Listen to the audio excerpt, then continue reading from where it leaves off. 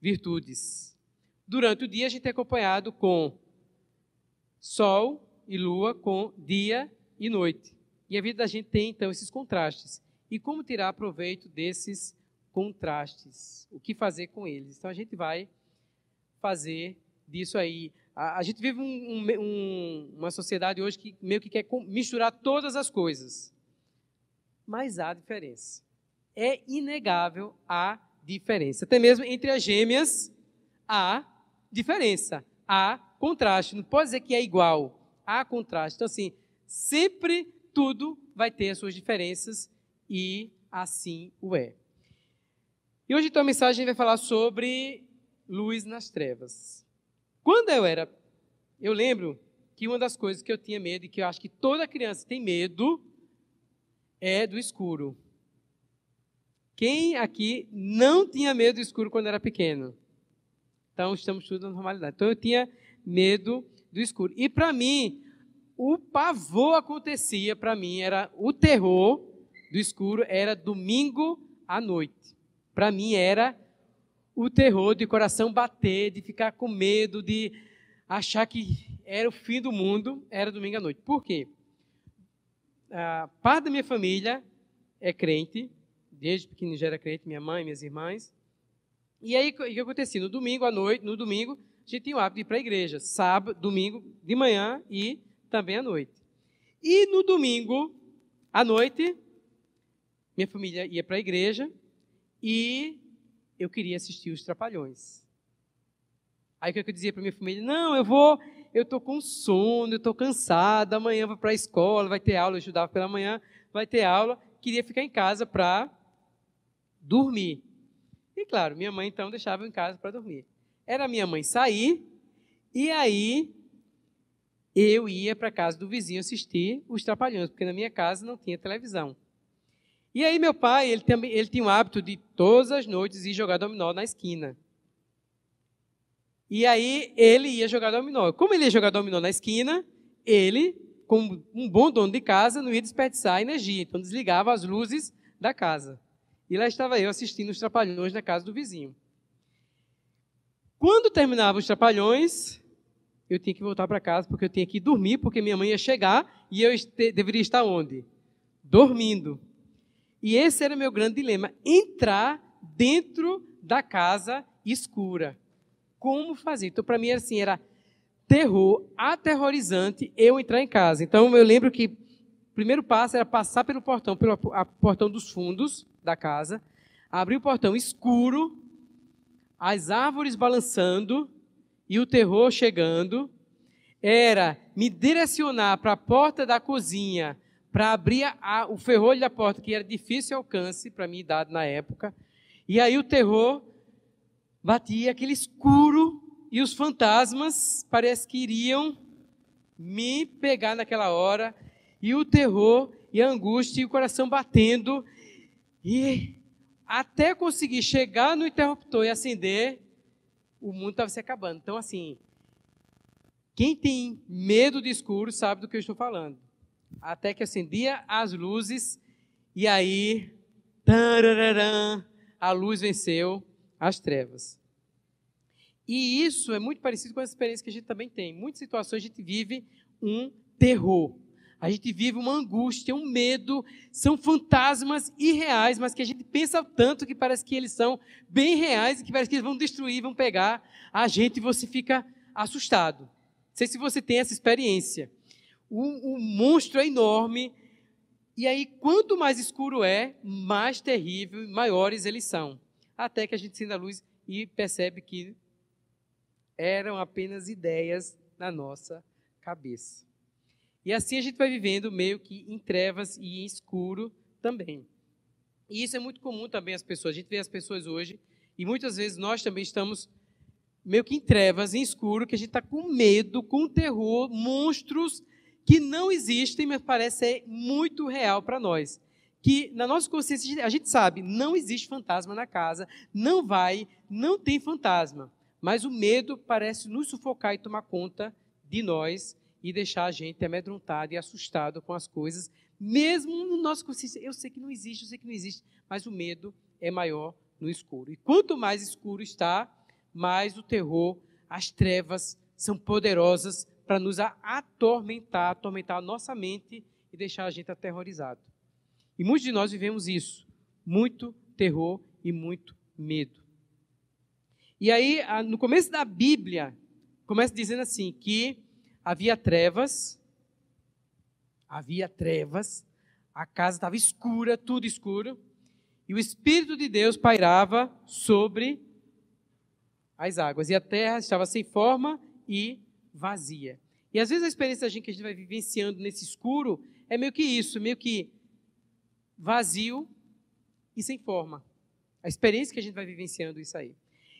E eu digo para vocês, principalmente nesse período da adolescência. É, para alguns, é um período terrível. Para mim, foi um período terrível, que você parece que não se controla, parece que a mente não consegue focar direito, é um medo, é um hormônio que sobe, é um hormônio que desce, é um momento de alegria, de euforia, é um momento de lá de baixo, de tristeza, é um momento de dúvida, de terror, de medo, de pensamentos acelerados, é de, de de imagem, você começar, na sua mente, começa a brigar com outras pessoas, eu vou dizer isso, vou resolver aquilo, porque não vai ser assim, vai ser assim. Você sai do mundo concreto, vai para o mundo abstrato e fica nessa, quando você na luz, oi, fulano, está tudo bem? Tudo bem. Parece que nem teve nada, toda aquela confusão que você criou na sua cabeça, quando você vê a pessoa, parece que não existe, oi, tudo bom, tudo bom e tal. Isso é o conflito e as trevas. E aí, a primeira coisa que Deus falou quando criou todas as coisas, foi: haja luz.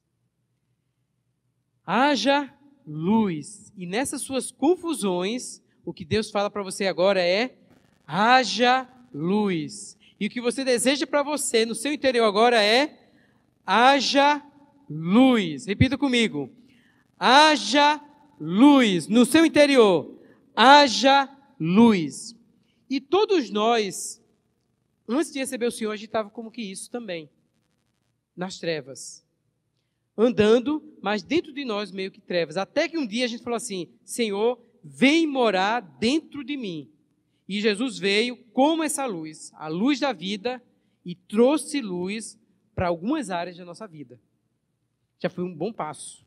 Algumas coisas que estavam muito escuras, muito em treva, Deus veio e trouxe sua luz. E Ele quer trazer mais luz para você. Então, quando você diz assim, Senhor, haja luz. E Deus disse: haja luz e houve luz. Quando Deus falou, houve luz e a luz veio brilhar dentro de você. Então, em Gênesis capítulo 1, fala assim: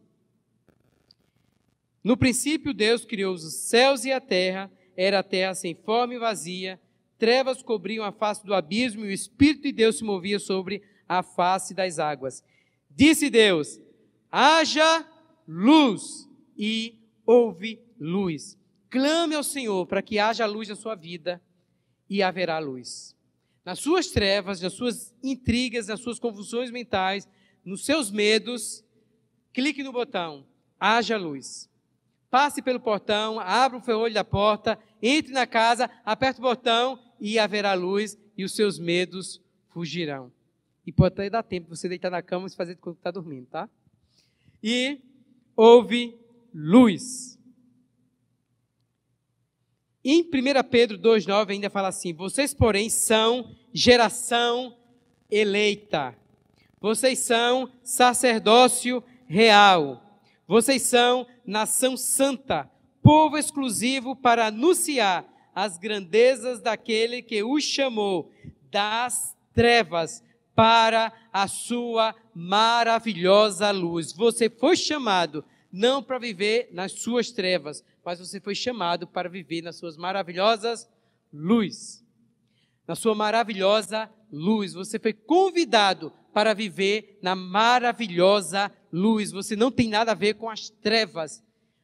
Coloque essas trevas para fugir de dentro de você. Você foi chamado para a maravilhosa luz. Por isso, Na luz quero viver, com Deus ter comunhão. Em João 1, o livro de João, versículo 1 e 4, veja que coisa maravilhosa. Jesus é a luz que derrota as trevas. Você tem Jesus dentro de você. Quando você estiver aterrorizado, você estiver com medo do escuro, esses monstros querendo vir tomar você, clame por Jesus. Jesus, Jesus derrota essas trevas. Não tenho a ver com as trevas, eu não sou da treva, eu não sou trevoso, eu sou da luz, eu sou filho da luz. Por isso, não vou permitir que essas trevas se apoderem da minha mente e me trave. Porque quando a gente está nas trevas, quando a gente. E aí, essa treva que eu queria falar para você, que você considerasse, não é apenas treva de pecado, mas a treva dentro de nós. Quando a gente está em trevas, o medo parece que se aposta da gente. Toma conta da gente, que paralisa, que parece que faz a gente pensar o, o que não existe. É como, é como a, a, a, eu, dentro daquela casa, indo para dentro da casa com medo, eu sabia na minha consciência, não tinha aquilo ali, mas o medo era tão grande que eu ia até a luz chegar. É terrível.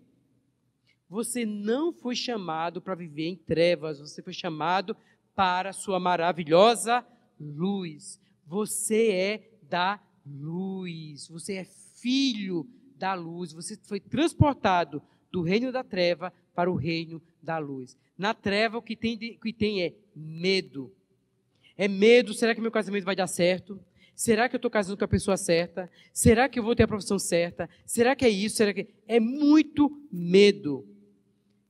Você é filho da luz. Na luz, você consegue ver as coisas mais claro e viver mais em paz consigo, com Deus e com as pessoas à sua volta.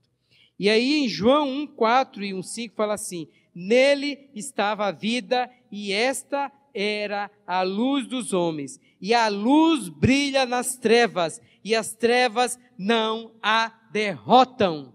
E a luz brilha nas trevas, e as trevas não a derrotam, porque a luz é mais poderosa que as trevas. Se você acender a luz, ela coloca para correr as trevas.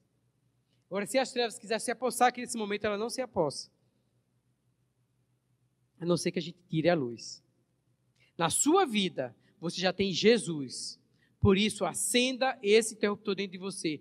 Jesus. Quando você começar a sentir medo, quando você sentir, começar a sentir confusões na sua cabeça, comece a clamar por Jesus. Se você não conseguir dormir durante a noite, com as trevas querendo tomar posse de você, vá para a sala, vá para algum lugar, põe o joelho no chão, ore. Vá ler versículo, vá ler a palavra de Deus, porque a palavra de Deus é luz para os seus caminhos. Se você estiver com terror, com medo, comece a clamar a palavra. Comece a proclamar a palavra de Deus. Tem uns dos versículos que eu gosto muito que é assim: ainda que eu ande pelo vale da sombra da morte, não temerei mal nenhum, porque tu estás comigo. Ainda que eu ande no vale da sombra da morte, não temerei mal algum. Talvez você esteja muito amedrontado. Por exemplo, eu estou com muito medo nas minhas notas da escola, vou ser reprovado. E você começa a ficar com medo, com medo, com medo, com medo, e o medo é tão grande que você não tem nem, não consegue parar para estudar, se concentrar nos estudos, porque o seu medo está tomando conta. Comece a clamar. Ainda que eu ande, ainda que eu seja reprovado, não temerei mal nenhum, porque a, tu estás comigo, a tua vara e o teu, teu cajado. Se você tem o Senhor com você como sua força, mesmo que seja reprovado, mesmo que as pessoas falem mal de você, mesmo que sua roupa se estrague, mesmo que aconteça isso, você tem Jesus. Você tem a luz. E aí, você não teme mal nenhum. Quando você toma posse de Jesus, você volta para correr às trevas. Porque o que Satanás quer é achar a sua fraqueza, os seus medos para se apossar de você. Mas você se aposta de Jesus e da palavra dele. Porque a palavra de Jesus é luz no meu caminho. E quando a luz do Senhor começa a iluminar, você começa a caminhar.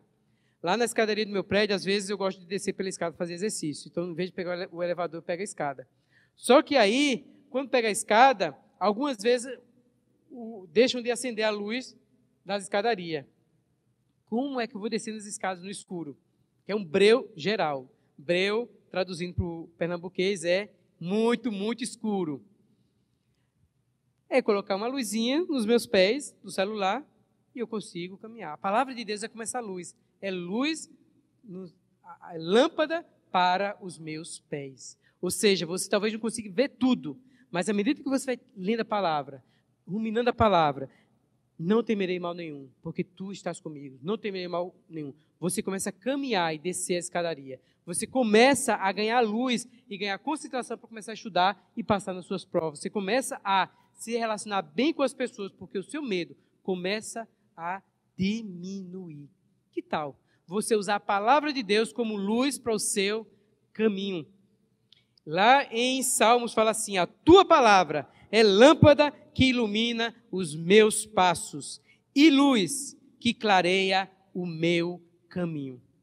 Você andando com a palavra de Deus, você vai caminhar, tem longos caminhos. Quando você olha para trás e fala, eu cheguei até aqui, foi a palavra de Deus que foi me trazendo luz. Porque nas horas que eu estava confuso, que eu estava na treva, Deus me iluminou. Salmo 119, 130 fala assim: A explicação das tuas palavras ilumina e dá discernimento aos inexperientes. Em muitas situações nós nos sentimos inexperientes. Use a palavra de Deus. Você tem esse tesouro maravilhoso, a palavra de Deus, faça uso dela. E uma coisa maravilhosa ainda. Então você estava em trevas, nós estávamos em trevas, Deus iluminou nosso coração quando nós chamamos. Nós temos Jesus, que é poderoso, que é a própria luz e que vence todas as trevas. E nós temos a palavra do Senhor que vai iluminando o nosso caminho passo a passo. Mas ainda tem outra coisa maravilhosa, que isso deixa você muito alegre. É que você também é luz. Não só Jesus é a luz, mas você é luz. Não menospreze a luz que tem em você. O que você tem é motivo de bênção para muitas pessoas. As palavras que você pode falar é luz para muitas pessoas. Tem muitas pessoas que nem sabem um pouco da experiência que vocês têm.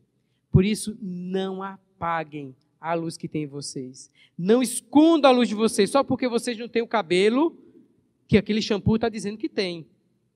Vocês são luz. Não é porque você não está naquela faculdade que todo mundo deveria estar que você não é luz. Você tem luz.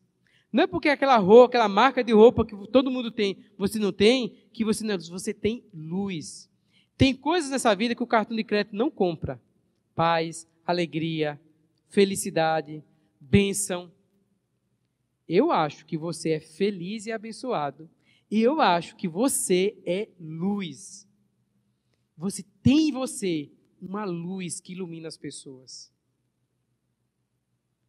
Você é luzeiro. Deus fez de você luz, Ele iluminou você em algum momento, em alguma coisa dentro de você. Deus já trouxe luz para você. E essa luz quer iluminar outras pessoas. E você vai permitir essa luz brilhar dentro de você. Não por uma obrigação, mas porque você tem esse poder de iluminar as outras pessoas. Porque vocês são a luz do mundo. Onde vocês estiverem, vocês podem fazer o contraste. Vocês podem fazer a diferença, iluminando, sendo a luz nas trevas. Quando as pessoas estão confusas e sem rumo, você é aquela pessoa que tem luz. Você faz contraste onde você está. Você é o diferencial, porque você é luz do mundo. E não se pode esconder uma cidade construída sobre um monte. E também ninguém acende uma candeia e a coloca debaixo de uma vasilha. Ao contrário, coloca no lugar apropriado e assim ilumina todos os que estão na casa. Assim brilhe a luz de vocês. Vocês têm luz. Isso mesmo, digo para vocês mesmos: eu tenho luz. Eu tenho luz.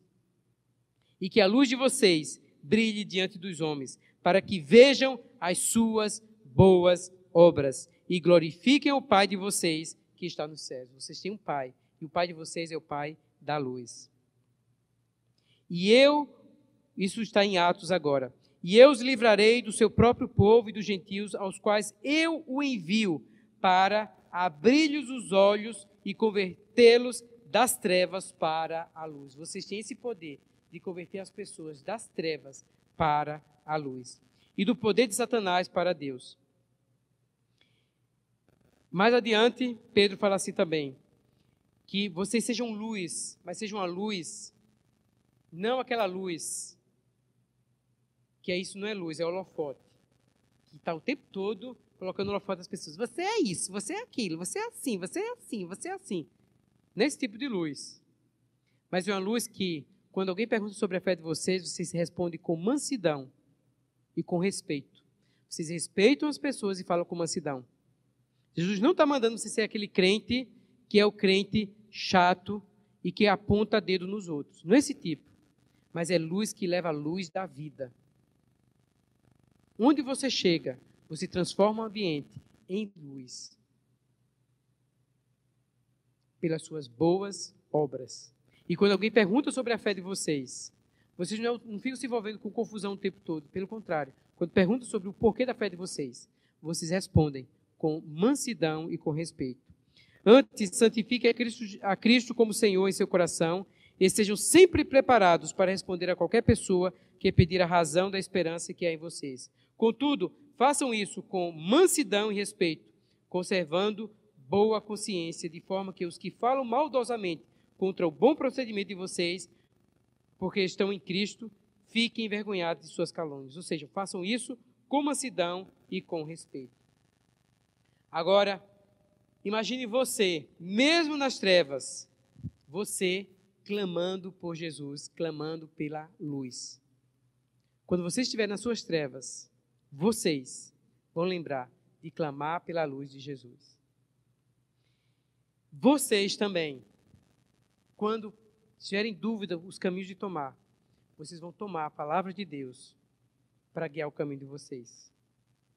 Lendo, ouvindo a palavra de Deus por meio de aplicativos no celular, decorando versículos, memorizando versículos, refletindo sobre certos versículos, transcrevendo certos versículos, certas passagens da Bíblia, escrevendo em partes da sua casa, comprando adesivos, espalhando esses adesivos, para que essas palavras, esses versículos, sejam luz para o caminho de vocês. E na história de vocês, vocês consigam lembrar, ah, na minha adolescência, os versículos que me marcaram foi esse. Ah, no meu namoro, os versículos que marcavam minha história eram esses. Ah, no período que eu passei por um grande período de depressão, eu usei tais versículos. Ah, um, um, no período que eu passei com de vitórias, os versículos que me marcaram foram esses. Ou seja, a sua vida, a sua história, foi, são marcadas de versículos da palavra de Deus na vida de vocês. E lembrem, assumam quem vocês são. Vocês são luz. Vejam só que maravilha, vocês que eram trevas, nós que éramos trevas. Hoje nós somos filhos da luz e nos tornamos luz. E Jesus fala que nós somos luz do mundo.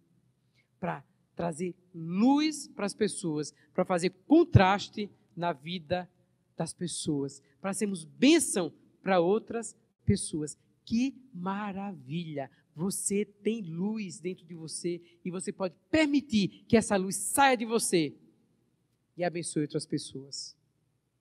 Jesus é o Senhor. A gente vai agora para um momento bem especial, que é o momento de sentar às mesas para a gente ter um papo legal. Quem está nos assistindo, você já está disponível agora. Vai no site chamado igrejaaberta.com.br. Lá você vai achar o ícone contrastes, contraste, e nele você vai ter então a segunda mensagem. E na segunda mensagem você vai encontrar o roteiro que nós vamos sentar agora falando e conversando e trocando experiências. E